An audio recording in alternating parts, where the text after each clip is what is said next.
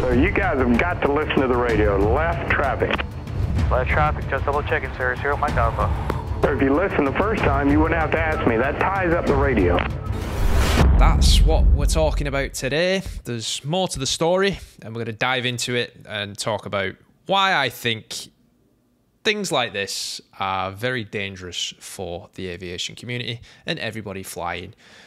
Anyway, so welcome, boys and girls, back to another episode of the Welcome to the Sky podcast. It's been a while, I understand, but thank you for tuning in on YouTube. Thank you for listening on Spotify.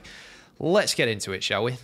This is the Welcome to the Sky podcast, your place for conversations about the best thing in the world flying. I'm LewDix, your host and friend, as we talk about everything from flight training, aviation news, how to become a better pilot, and much, much more.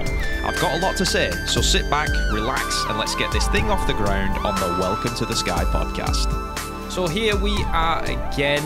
As I said, it's been a little while since I've done a Welcome to the Sky podcast episode, but if you're a long time viewer of LewDix Aviation, you know exactly what I'm all about. But if you don't know me, my name is Lewis. I'm a flight instructor, CFI, CFII. I'm an ATP former airline pilot, making aviation videos on YouTube, showing the fun side of aviation, the fun side of flight training, how flight training uh, can be fun, all the while making sure you're maintaining high standards of, uh, of safety and performance. That's that's basically it in a nutshell. I highlight a lot of the time the the lighter parts of flying, having fun, and, and kind of making aviation fun, but also I, I show some struggles that students go through, which are very relatable to everybody going through flight training. So, um, unfortunately, instead of highlighting the positive today, I'm highlighting a negative part of what we do. You know, in flight training as a flight instructor, I see students struggle with many, many different things learning how to land is a big one that people struggle with. Getting through fears like the fear of stalling an aircraft, that's a big one. Another massive fear is of air traffic control. And that is one of the things that we're going to talk about today um, because of what I just experienced today with a student of mine. So I was actually doing a checkout flight in a 172. We went into that video with high spirits, very positive. We're having a great time. And then all this happened, which we're going to get into now. So basically, to give you a backstory, there is a air traffic controller at the Kissimmee Airport that I've made mention about in previous videos. Mega right turn, Delta ground point seven. Uh, Mumbles McGee's back. 670 Mike Alpha, semi tower runway 2 for clear takeoff, zero on course to west. Live takeoff runway 24, uh, on course to the west, uh, I believe, 670 Mike Alpha. He seems to mumble and slur his words over the frequency a lot of the time. You know, a lot of the stuff that he does say you can understand, but there's a lot of it that is you just can't understand it at all, and uh, you'll you'll hear that. So to, to just get started, I'm just going to go back and forth between what happened in the flight and kind of talk you through what's uh, what's happening and, and my thoughts as we go. But it started on the first call, like, would uh, just listen. Gateway Tower, Skyhawk 670 Mike Alpha over Stampede, same bound for touch and goes with uh, information Quebec. 670 Mike Alpha, semi tower, port of beam, large tower for left down one south. I'm just going to stop at that, that right there. You may have understood that. You may not have understood that. Just to replay that again, what he said. 670 Mike Alpha, semi tower, port of beam, large tower for left down one south. You hear that slur in the middle of that. Now, knowing, uh, uh, know, having flown in this area for, for quite some time, I understand that, which is report the uh, water towers. But my student, Juan, didn't understand what he says. So what do you do if you don't understand? Do you, do you just read back an ATC call just for the hell of it? Or if you don't understand it, do you try and clarify? I think the answer is obvious. Now, you're going to hear the, what the controller does here. 670 Mike Alpha, semi tower, port beam, large tower for left down one south. That again for 60 Mike Alpha. This little smile from me here is because I know exactly what's about to happen. Cessna 670 Mike Alpha, report a beam the water tower for a left downwind to 15.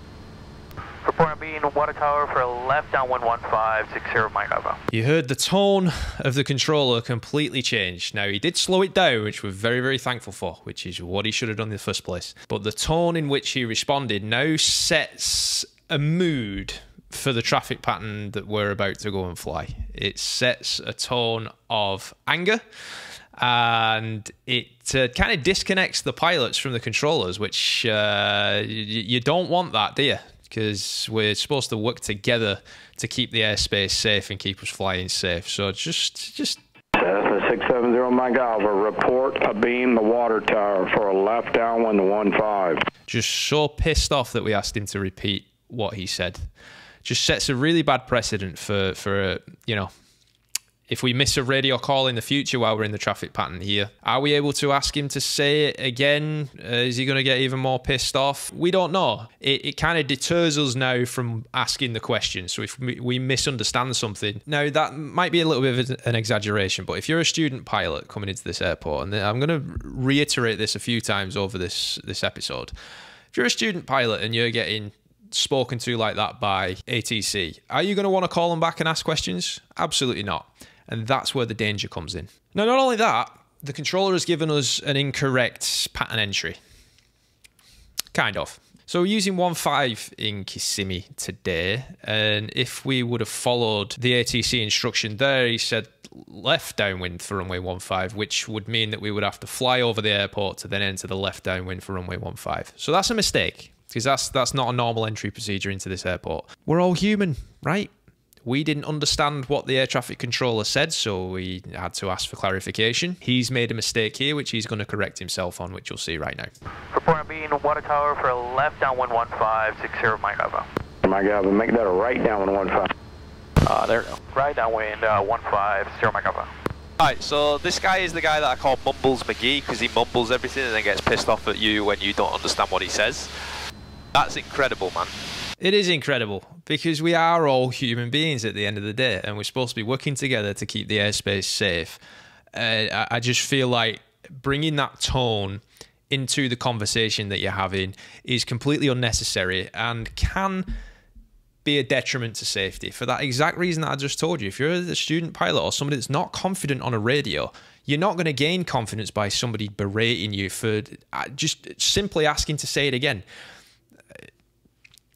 this is just the beginning. I like to debrief things. I like to uh, I like to address things as they happen and kind of really understand the situations and see if the student actually understands the situation. If you look at Juan, what he just said there, he understood what the controller was asking him about the the left downwind, uh, which in our minds wasn't a normal procedure. So he understood what was going on. He understood what was being asked of him. He's just looking for clarification on both what he said at first, because that first thing was mumbled, and then clarification on uh, the the kind of downwind situation, which in fairness the controller corrected himself. But again, we're all human. The controller made an error. Uh, you know, we're not getting pissed off because the controller made an error, you know? Anyway, that's just the start of it, boys and girls. Seriously. Pacific Tower, Cherokee, 29 uniform, confirming left turnout. Correct? And I uniform affirmative, left traffic. Left traffic, Cherokee 29 uniform, thank you. Like, his tone with people is not nice. So now, if you're watching on the video podcast, you're actually watching uh, us land the aircraft at the moment. Uh, if you're listening, you're not going to see this, but Juan does a beautiful, beautiful touchdown there. Very, very nice touchdown. Well, that was nice. Thanks, sir. And then, of course, you think about the situation. The controller gave us pretty shoddy radio calls at, uh, at the beginning of this interaction. Cleared us for touch and go. We've done the touch and go. Now, after all of that, Juan wants clarification. He's going to want clarification on whether to do right or left traffic. We all forget, right? Maybe you should have written it down, okay? But this is the interaction that we get for trying to clarify something, and this this is where it gets dangerous. Well, that was nice. Thanks, sir. And tower, circle my five, just to double check. You said left or right downwind? So you guys have got to listen to the radio. Left traffic. Left traffic, just double checking, sir. Zero Mike Alpha. Sir, if you listened the first time, you wouldn't have to ask me. That ties up the radio. They made a mistake a few minutes ago. Zero Mike Alpha. so, all right.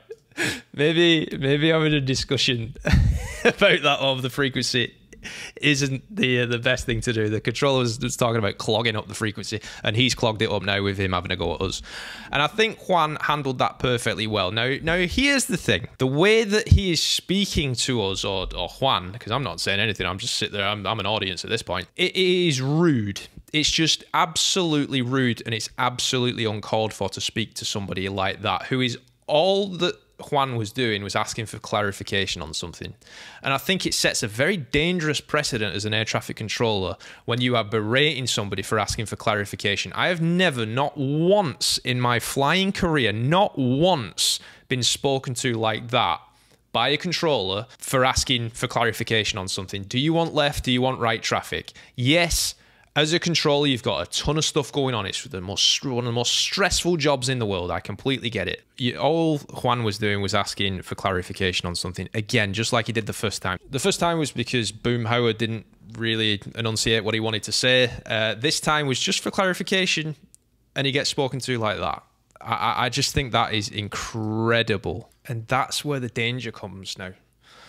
And not just student pilots. I know I gave the student student pilot example there, but the amount of pilots in general, especially new pilots, that are scared of air traffic control, that maybe you've done all your training at an uncontrolled field and you want to go and get used to talking to uh, an air traffic controller, you go to a towered field or something like that, and this is your first interaction with air traffic control. I, you know, it doesn't help the relationship between pilots and air traffic controllers. It just further disconnects those two groups from each other when in reality pilots and controllers are supposed to be working together to keep our skies safe. I just think it's such a, a detriment to aviation, which is why I wanted to kind of highlight it. It's a real uh, knock of confidence because up to this point in the flight, Juan and I have been having a great time. In the video for the in the checkout video, you see we're having fun. We're get, we're getting through what we need to get through and, and doing some things really well. Some things needed some work, and we we went through it together. But regardless of anything else, we had fun while we were doing it.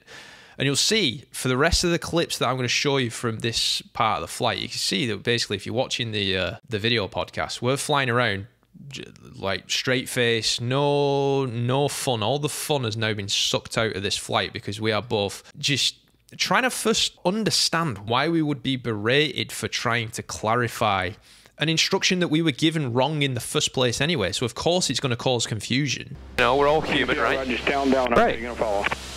Uh, uh, you, you, know, you, you're not even making a mistake you're following traffic. You were asking a question, Station number two, yeah. runway one five, clear lane. Before you made a mistake. Now, for the rest of this flight, I had noticed Juan's mood changed completely. There was definitely a shift in the mood in the cockpit, and I noticed that he wasn't really fully focused on the stuff that I was talking to him about uh, regarding the flight and regarding what we were going to do. And so I, I, I did this. Pacific Tower, Skyhawk November 120 Alpha is past the sand pits with information Quebec inbound for touch and go and short approach available. One two seven. There's three people in the pattern, so you're not going to get short approaches. But enter the uh, Port of Bean water tower for right down one five. Thought you make Quarter beam him the water go tower left for 360 a or right, something, uh, dude. Traffic for 15, 120 Let's do this one and then we'll call it a day after after this. I'm, I'm done with this guy. Yeah. Uh, and look at that. The air traffic controller has managed to knock Juan's not so much you know his, his confidence of flying, but his confidence in this particular traffic pattern, and has made him not want to be in the sky. Now I know that is not as important as you know keeping the skies safe and stuff like that, but I think it really is. We we get into aviation to have fun, to have a good time, to do something that we love. We don't get into aviation to be shouted at by doing something that's logical. Uh, and that's the thing that gets me about all of this is that Juan's questions and, and Juan's attempt to clarify something is a logical thing.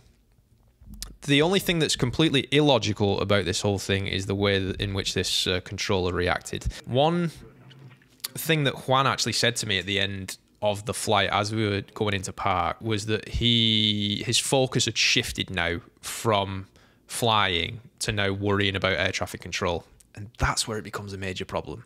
I just go back to it and just the one of the biggest things that student pilots fear is air traffic control. And I can only imagine if you're a student pilot and you've been subjected to this by an air traffic controller.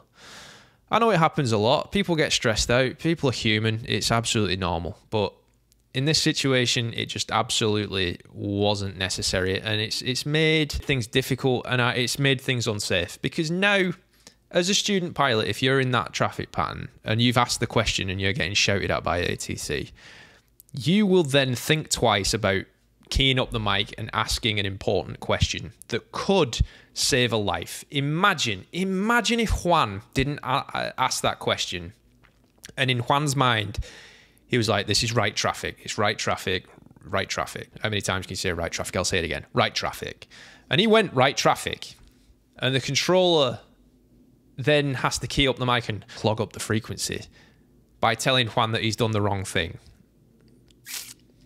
What kind of a situation are we in there? We might be running into other aircraft, might have a mid-air collision. We, I don't know, may have to make a jet go around, which for air traffic controls, that's the worst thing in the world. And the pilots as well. I've listened to many an ATC exchange for jets having to go around airports and stuff. They don't like it. There's just so many other things that that could affect, which also affect safety. So because of this interaction, making us and making whatever pilot think twice about asking very, very crucial safety related questions, I just think is a complete detriment to flying in general.